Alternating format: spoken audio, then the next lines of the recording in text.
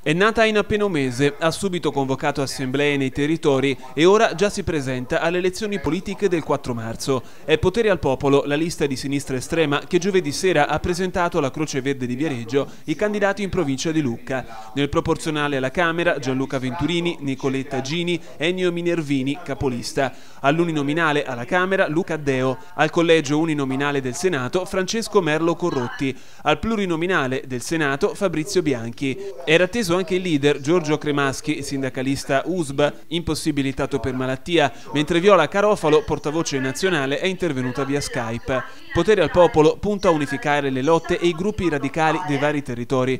Un progetto politico che guarda ben oltre le elezioni di marzo una lista eh, di movimenti composta da, da, persone comuni, da persone che non hanno mai avuto cariche politiche, eh, quindi da, da, persone vere, da persone che eh, non hanno e non parlano di problemi fittizi per sentito dire, ma sono eh, quelle persone che eh, rappresentano il, il, popolo. A differenza di, di, di, tutti gli altri partiti, noi non abbiamo bisogno di convincervi, eh, perché comunque sia quello che facciamo, quello che, eh, che siamo. Eh, lo potete eh, constatare con mano, lo potete constatare eh, nelle piazze, nei, nei, territori, nelle periferie, sui posti di lavoro. Noi, noi, ci siamo, noi siamo accanto a tutte quelle persone che, mm, che hanno bisogno di una, una spalla in certo qual modo.